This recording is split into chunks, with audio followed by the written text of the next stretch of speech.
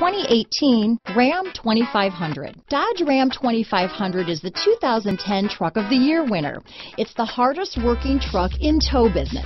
This vehicle has less than 100 miles. Here are some of this vehicle's great options.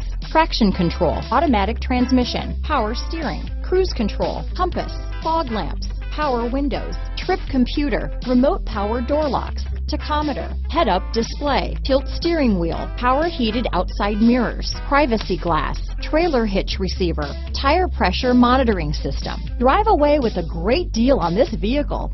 Call or stop in today.